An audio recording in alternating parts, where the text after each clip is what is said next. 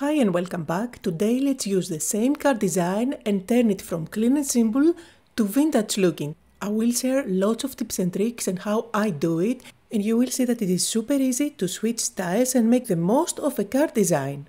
For today I will use a container. These are new dies by Waffle Flower and uh, there are many different containers that you may already have in your stash. Just bring a vase, it can be a pot, you can see I have a paper bag here and uh, it can be any size, bigger or smaller. So you can easily recreate what I'm doing and the idea is to have that container at the center of your card and then add inside leaves and branches. So for my first card I'm going clean and simple. This is the flat paper bag die by the new release by Waffle Flower and it is going to be my focal point, my main container. So I cut out the tag out of white cardstock, the paper pad and the handle out of kraft cardstock and I do have a tiny little heart out of red. Now the idea is to have uh, leaves and branches coming out from the bag and I'm going to use some of the branches from these stems dies. I used one of my stitched rectangle dies to cut out a small panel and I'm going to ink it with a couple of uh, Distress Oxide inks. I'm using my Waffle Flower brushes here and I absolutely love the stand. It helps me keep my craft desk nice and organized. So I'm going to blend those two colors and they match beautifully together. You can leave it quite uh, pale as it is now. I'm going heavy handed since I want to have a vibrant color on my background. However, since this is uh, going to be the clean and simple card, you can definitely omit inking completely. You can even use a pattern paper as your background panel or even leave it white to add just some extra touch of something at the background to make it look more interesting, I'm going to bring in this tiny heart stencil. By the way, I'm working on the mini stencil mat by Waffle Flower. I like it because I know exactly where the ink is. Since my glass mat is completely black, sometimes I don't know if I have ink on top of my craft table and um, I transfer ink on my projects. So this uh, white mat is really helpful for that. Plus, it cleans up really easily. So I did add a little bit of that stenciling with uh, the colors that I already had as well as a few water splashes. And now I have all the elements that I want for creating my card. I'm going to put the paper bag together. I'm going to add a little bit of glue, just a couple of dots up there, and then slide the handle inside those um, holes. Now I'm going to bring in my thin foam strips. These are by Waffle Flower and uh, I'm going to use a thin one and go all around the back of the paper bag. I'm making sure that I leave the center of um, the paper bag empty from foam tape since I want to tuck inside those branches. I will stick it on top of my panel and then add inside the branches that I cut out. You can use different colors of cardstock to cut out the same branch. It will look um, different and it is going to give some depth on your little composition in there. You can also add flowers if you like. I decided for this card to stay away from flowers, but you can definitely do that.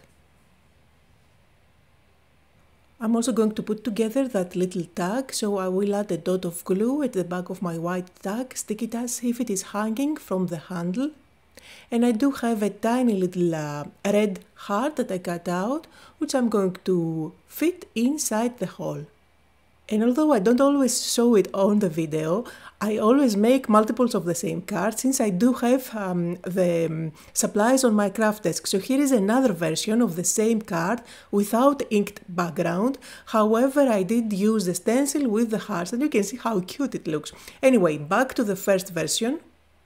And I'm going to stick that on top of a standard card that's four and a quarter by five and a half to make my leaf composition inside the bag look fuller, I went ahead and used another branch from the same stems die set and I cut it out this time from a darker colored cardstock so that I can have some variation of leaves both in terms of shape as well as in terms of color. And of course, if you try to recreate this uh, design, all you need to do is to find a container and add leaves inside. Stick it at the center of a panel. Either this would be an inked panel, a pattern paper panel, or even a simple white panel, and then stick that on top of your standard card. To take your design a step further, you can add some white dots on top of the leaves as well as here and there at the background. I'm doing that because by adding those dots, bigger and smaller, it adds a touch of a whimsical look on the design and at the same time it gives more interest up there so I don't really need to add flowers. For my sentiment I went with thinking of you and I'm going to stick that on top of my card by adding some foam tape and I did double up the foam tape behind the word you so my sentiment is perfectly leveled. Absolutely love this paper bag design as my focal point and you can have flowers coming out of that or even little butterflies. The sky is the limit really. And now let's move on and create the same idea, the same card design with a different container in a vintage look. So I'm going with this die that gives you that uh, flower wrap made out of paper and uh, it comes from the special delivery die set by Waffle Flower. I'm going to die cut it from a pattern paper that I had in my stash forever that looks like newspaper. You can use a book page for that and if you are going with a different container, like for example a vase, just cut it out from a pattern paper that has a design on top. It really makes a difference. Then all you need to do to, to turn it uh, into looking vintage is to use vintage photo. That's my recipe and my number one tip when I go vintage style. So I'm using vintage photo here. I will add some inking on the edges and then I will just put this paper wrap together. This is another great die by Waffle Flower. I love how it is quite big so it makes an impact as a focal point on top of a card. Plus we all do have flowers and leaves that we can tuck inside. And it is quite dimensional, I made sure that it is not flat so I can easily tuck inside little elements. Now I'm going to bring in the previous card and let's repeat the exact same design. So I need the panel. So grab your paper trimmer and uh, a pattern paper. For that I went with a pattern paper from a super old collection by Tim Holtz. This is one that I had in my stash for ages. It does say new at the top but forget completely about that. It is super super old. In any case, grab any pattern paper. I will show you how to turn it vintage looking. The size of the panel is three and a quarter by four and a half and I did use my paper trimmer that has a deckled edge to give a decorative edge on my panel that looks like vintage. It gives that look and feel. If you don't have this deckled edge paper trimmer, fear not, all you can do is to just go around the edges of your pattern paper with your scissors and distress it. Then the next step to make it look more vintage is to add some brown on the edges. I went again with a vintage photo and for a darker touch I used ground espresso. And now for putting the card together, I did use some white glue at the back of my focal point. I'm going to stick it on an angle. Now again, I did use the stems die set by Waffle Flower. I did cut out a few of the leaves as well as a rose and of course you need to give the same look and feel as the rest of the elements on a vintage card. So you don't need to have you don't want to have bright um, clean cutouts. That's why I went again and inked up slightly all the cutouts. For the rose I cut out the whole thing out of green cardstock and then only the top out of uh, red. And I'm going to stick one on top of the other to put the rose together. And now of course it's just a matter of tucking everything inside. I'm using glue at the bottom. I'm not sticking everything completely flat so I have a little bit of movement and for the rose I went with a little piece of foam tape at the back of the rose but for the stem I'm going with glue. In the beginning of the design I was thinking that I need only one rose, however I decided to add one extra just for that red touch Another one of my go-to tips when it comes to vintage cards is to use a card base made out of kraft cardstock. You will need to ink up the edges. Again here I'm going to use two colors of brown. My go-to combination is vintage photo and ground espresso only at the edge. And here is a little handy tip. If you keep your ink pad against your uh, silicone mat, it's not going to move on you. Look how I load the brush without having to hold the ink pad with my other hand.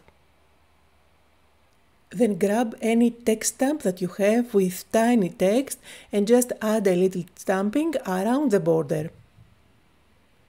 This, in terms of design, it adds a visual texture and at the same time it gives that look and feel of vintage.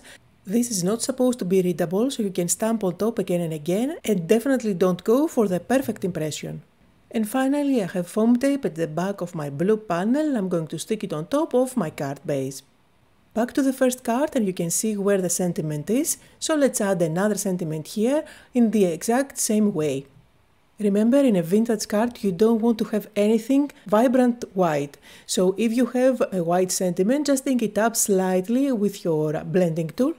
And with foam tape at the back, I'm going to put it in place. In a vintage card, you can always add a touch of gold. For this card, I decided to add a little bow. This comes from a bow I set by Waffle Flower. I did cut it out from gold cardstock and I'm going to stick it in place.